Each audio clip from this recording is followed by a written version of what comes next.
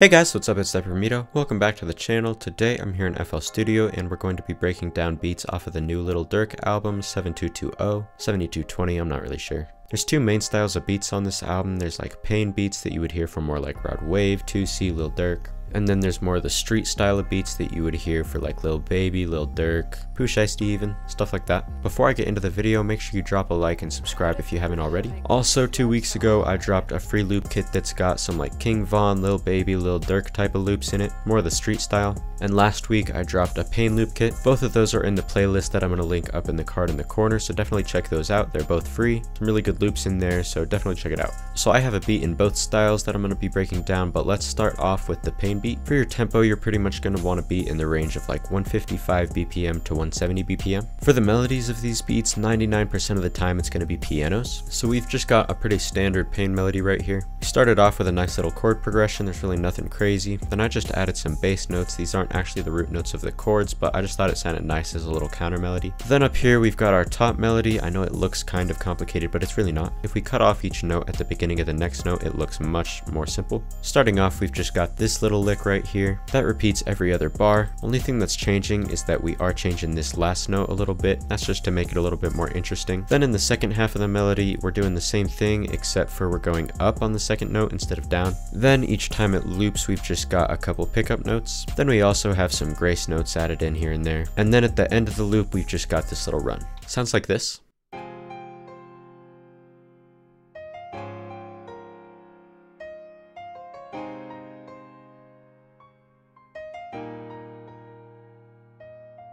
Next I just layered the chords with a pad. Very simple, there's not really much to explain here. This is what it sounds like.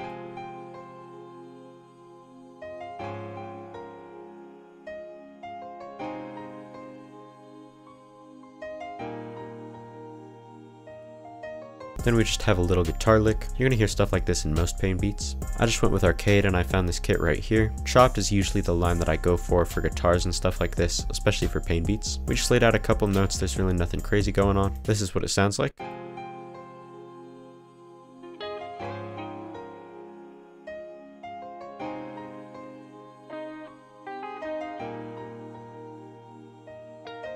After that, we've got this vocal chop melody. Again, I just went with arcade, found a nice little line, and laid out a few notes. If you don't have arcade, you can also just sing this yourself and record it and then pitch it up an octave, or if you can find samples online and stuff. You just gotta dig a little bit. Arcade is definitely the easiest way, but there's definitely some other good ways. So don't think that you can't make these types of melodies just because you don't have arcade. But anyways, this is what the vocal chop sounds like.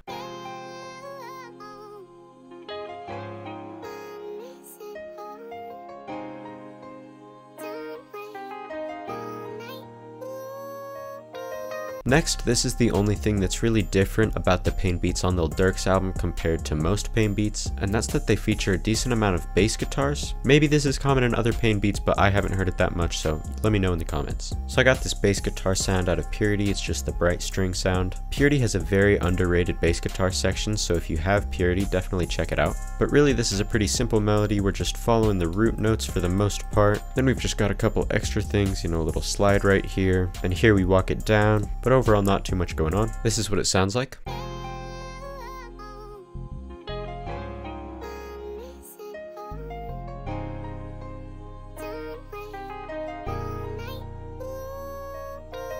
So you'll notice here at the end we're just following the root notes. That is partly because I just got lazy, but mostly it's because we actually have too much going on right here. So we've obviously got quite a bit going on here in the vocal, then we've also got some stuff going on in the guitar, and obviously there's still stuff going on in the piano. You just want to make sure that you don't have too many things going on at one time, otherwise it's really going to complicate it and throw off the bounce. Really just doesn't sound good. Better to spread things out throughout your loop, that way you don't really have any empty spots either. And that's pretty much it for the melody. Next getting into the drums, I just laid out this rim. You can use a clap, snare, rim, whatever you really want to. This is what it sounds like.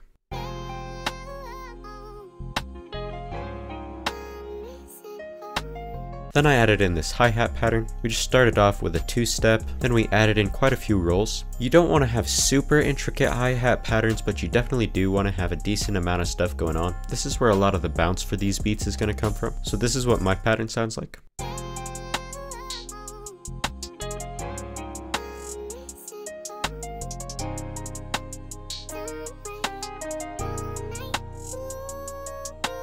Next getting into the bass section of these beats, you're going to hear some sub basses, especially in the intro and verses or whenever you might cut out the 808. Same with the bass guitar, but for the most part your main bass is going to be your 808. You're mostly going to hear like medium length 808s, you also hear some short ones. Most importantly, you just want to make sure that they're very clean. You don't really want to have any distortion going on in these. For your pattern, you're going to want to keep it relatively simple, but definitely make sure that it's pretty bouncy. As you can see, we're just following the root notes throughout this whole thing. Even here, these are just octave jumps, so they're still on the root note. For your rhythm, you definitely are going to have some interesting things going on. For example, I've just got this little clip right here. Stuff like that, we've got a little roll and whatnot, but overall nothing too complicated. This is what it sounds like.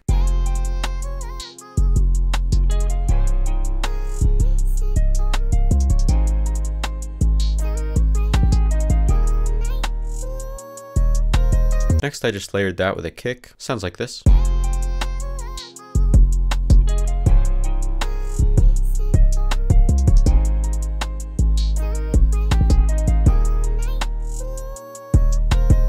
These beats, you'll notice that they're all going to have really punchy kicks. It's almost going to sound like it's clipping. So it's very important that you use good sound selection for your kicks and your 808s in these beats. Make sure that they're really knocking, you don't want to have any weak kicks in there. Next, I just put this hi-hat on the one. That's kind of going to help with that clipped sound on the first beat. After that, I just added in another hi-hat. Very simple pattern, it's just hitting right before the rim every other bar. This is what it sounds like.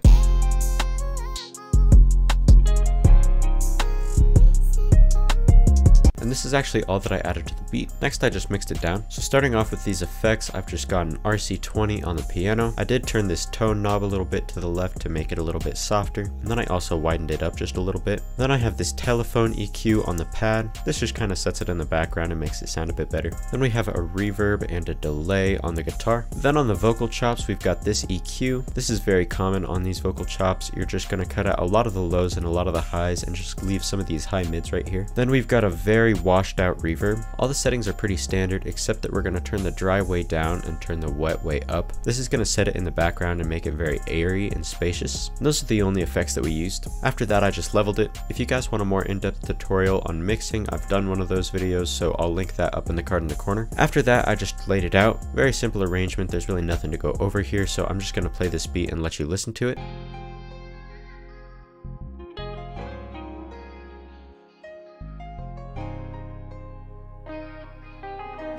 Did Deprimido make this slap so hard?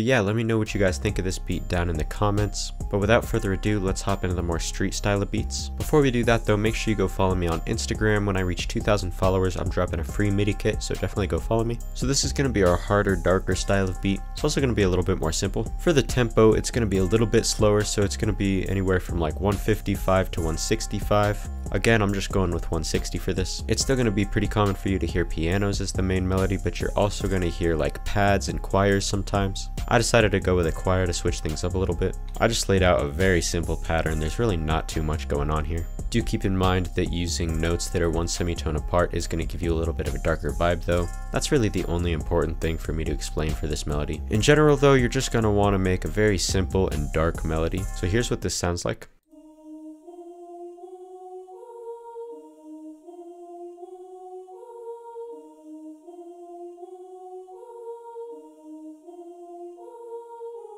Then in order to give the melody a little bit more energy, I just cloned that sound and I added the same pattern except for I moved it up to the fifth. And then I also moved it down one octave. This is just going to fill up the frequency range a little bit and give it some more power. So with this added in, it sounds like this.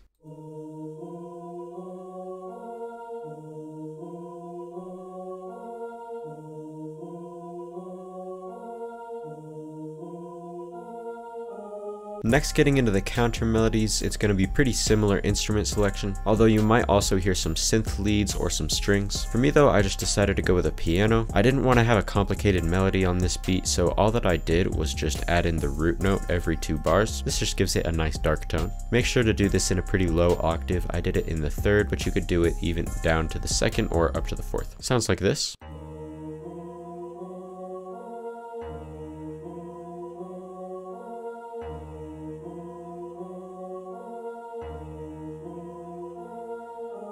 Then, again just to add a little bit more power, I used another piano, and I just turned that one note into a chord, so I added the third and the fifth. This is just to differentiate the sections a little bit and add some more power throughout the beat. So this is what it sounds like.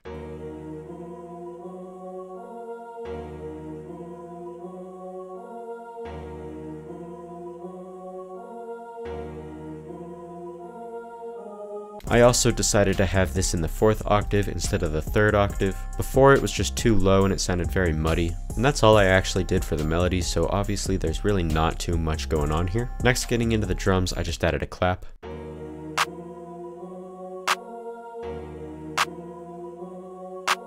You're mostly going to either hear claps or snares in these beats. Next getting into the hi-hat pattern, this is actually going to be a little bit simpler than the pain beats. Again, we're just starting off with a two-step and then adding in some rolls. You don't want to have too much going on here, you really just want to keep these beats simple. This is what it sounds like.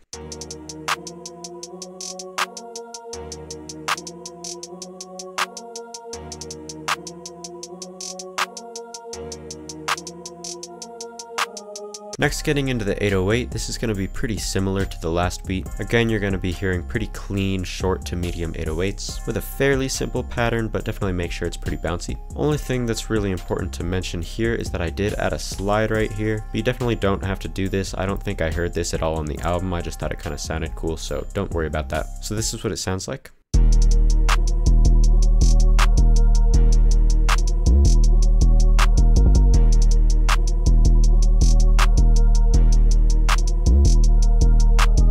We just layered that with a kick and then we took out the rolls because rolls never really sound good on a kick. This is what it sounds like.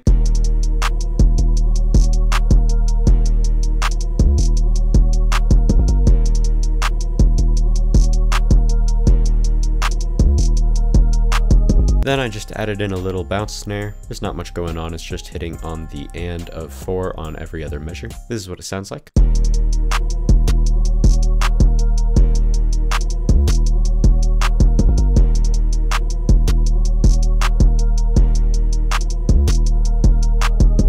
Finally, we've just got an open hat hitting on the 4 of every other measure. Again, very simple stuff, there's really not much going on here. This is what it sounds like.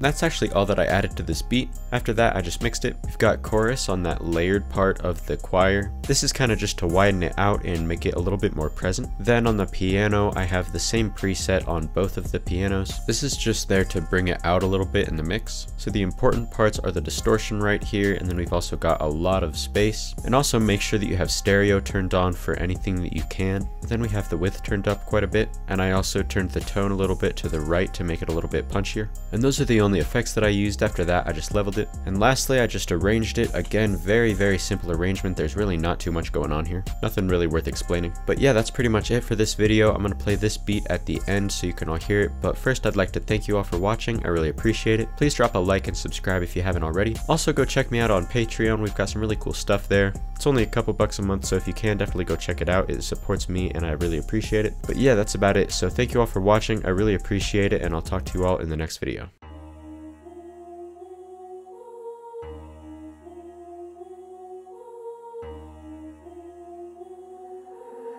did Deprimido make this slap so hard?